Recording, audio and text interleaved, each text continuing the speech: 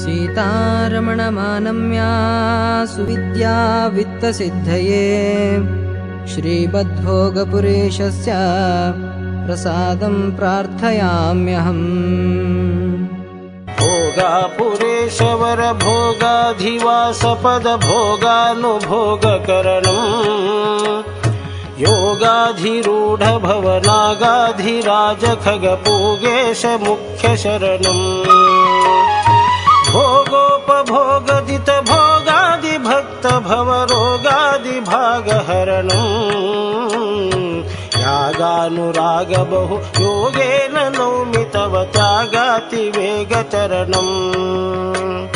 शृङ्गारमङ्गलभुजङ्गारि भोगपुप्लवङ्गेश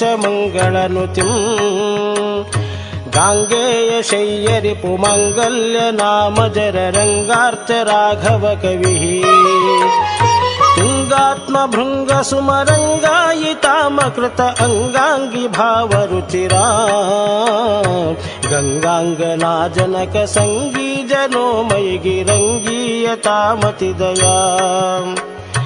गङ्गाङ्गना जनक सङ्गी जनो मयि गिरङ्गीयतामतिदया